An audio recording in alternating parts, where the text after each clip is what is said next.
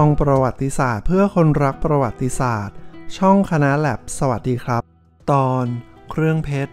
ในสมเด็จพระนางเจ้าสิริกิติ์พระบรมราชินีนาถพระบรมราชชนนีพันปีหลวง ข้อมูลจากคำสัมภาษณ์ของท่านผู้หญิงออมทรัพย์สุจริตกุล คุณข้าหลวงผู้ใหญ่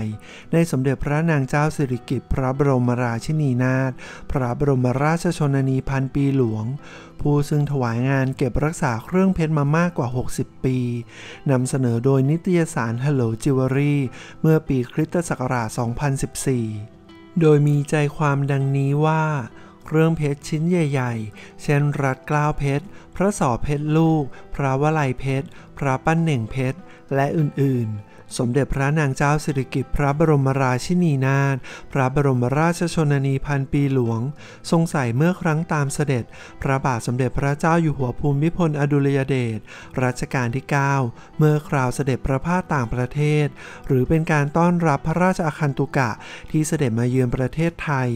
เมื่อครั้งที่พระองค์ยังมีพระชนมายุยังไม่มากนั้น เป็นพระราชมรดกของสมเด็จพระพันปีหลวง หรือสมเด็จพระนางเจ้าสาวภาผ่องศรี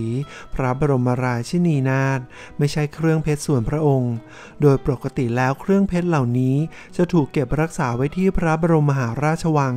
แม้พระองค์จะทรงใช้ ก็ต้องไปเบิกออกมาอย่างเป็นทางการ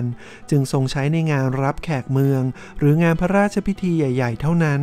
ส่วนในงานที่เสด็จปกติ ทรงมีเครื่องเพชรส่วนพระองค์ ที่พระองค์ทรงซื้อมาใหม่อยู่หลายายชิ้น เช่น 1. ชุดสร้อยพระสอทับทิมล้อมเพชรใหญ่ พร้อมพระกุณฑลเข้าชุด 2. พระกุณฑลระยาเพชร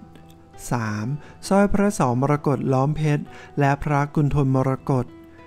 4. พระกุณฑลมรกตรูปหยดน้ำ ทรงกับจี้มรกตล้อมเพชร และสร้อยพระสอทับทิมมรกตสไตล์อินเดีย 5. สร้อยพระสอเพชรปกฉลองพระองค์ 6. สร้อยพระสอเพชรรูปหยดน้ำและกุนทนทับทิมล้อมเพชร และพระองค์ก็โปรดสร้อยพระสอมุกมาตั้งแต่คราวยังเป็นพระคู่มั่น มักทรงสร้อยพระสอมุกแบบต่างๆ ทั้งที่ติดพระสอสร้อยยาว และซ้อนกันหลายชั้น ในวาระที่พระองค์เสด็จไปงานกลางวัน